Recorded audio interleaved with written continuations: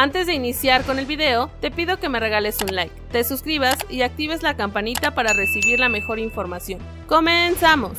Santiago Naveda no ve como terminado el torneo para Santos. El mediocampista Santiago Naveda advirtió sobre la importancia de que Santos Laguna haga valer la localidad frente a los Diablos Rojos del Toluca, partido donde necesitan mostrar una mejoría en su desempeño sobre el terreno del juego. El exjugador del América no ve una urgencia, pero sí una necesidad de comenzar a salir del hoyo en el que se han metido, sobre todo después de que la derrota sufrida en casa el pasado domingo frente a Rayados de Monterrey. Toluca es un gran rival, siempre está peleando por títulos, pero nosotros en la corona tenemos que hacernos fuertes. Queremos que nuestra casa sea una cancha complicada para los rivales, algo que siempre se ha buscado aquí. No pensamos en que se nos está acabando las oportunidades, no nos podemos dar por vencidos, entonces seguimos enfocados en mejorar, declaró el futbolista la mañana de este miércoles en el TSM. Sabe la importancia de ser empáticos con la afición albiverde, por eso la insistencia de enderezar el rumbo y meterse a la pelea por un lugar en el play-in. Entendemos la frustración que siente la afición, pero de mi parte pedirles que esté con nosotros hasta el final, nos apoye, es parte importante. Nosotros tenemos que seguir enfocados, sabemos que no hemos dado los resultados que merece este club, así que estamos conscientes de que tenemos que conseguir una racha de victorias de aquí al final del torneo, dijo. Naveda lamenta la lesión de Jordan Carrillo. Con respecto a las ausencias por lesión, Naveda comentó, es un jugador muy importante para nosotros, es una lástima que no lo tendremos por un buen tiempo, pero de eso se trata ahora, de que al que le toque ingresar en su posición lo haga de la mejor manera. Por eso, lo bonito del fútbol, estamos tranquilos porque hay compañeros que lo pueden hacer igual o mejor. Al momento en el torneo Apertura 2024, Santiago Naveda ha disputado más de 400 minutos con la playera albiverde en lo que es su primer semestre como santista. Santos Laguna trabajó este miércoles en territorio Santos Modelo con una sesión matutina en lo que se enfocó en ejercicios de definición y posesión de balón. De cara al compromiso del próximo domingo ante Toluca en el Estadio Corona, los albiverdes continuarán con su preparación este jueves a las 8.30 horas en el TCM con un ensayo donde se espera que el técnico Ignacio Ambriz defienda el 11 para el domingo. El Club Santos confirmó que la lesión de Jordan Carrillo es un esguince de grado 2 de ligamento colateral medial. Este tipo de lesión implica un daño moderado en el ligamento y requiere un tiempo considerable de recuperación. Según el informe médico, el mediocampista estará fuera de las canchas por un periodo de entre 4 y 6 semanas, lo que afectará su participación en varios partidos importantes. La lesión de Jordan Carrillo tendrá un impacto significativo en el calendario del equipo. Si el tiempo de recuperación es de 4 semanas, el jugador podría regresar el tiempo para el duelo de la jornada 13 contra Pachuca, programado para octubre. Sin embargo, si el proceso de recuperación se extiende a 6 semanas o más, Jordan Carrillo no volvería a jugar hasta la última fecha de la fase regular contra Querétaro, a principios de noviembre. Finalmente, Carlos Acevedo, el portero que Santos quiso sacarse de encima, y hoy sueña con ser ídolo verde y blanco. Carlos Acevedo construyó su carrera en base a la resiliencia. El actual portero de Santos, Laguna y de la selección mexicana, en la que jugó un puñado de partidos, tuvo que superar la ingratitud del puesto de portero en más de una ocasión. En el equipo de sus amores, pasó del rechazo reiterado a debutar en primera, ser campeón, afianzarse como titular y convertirse en capitán. Su buen desempeño también lo llevó a defender el arco del Tri. A los 10 años comenzó en las inferiores de Santos y se mantuvo hasta los 15, pero el club no le dio el lugar esperado y decidió marcharse. Regresó en el año 2013 y cuando parecía que se ganaría un lugar, rescindieron de sus servicios por segunda vez. Ante dos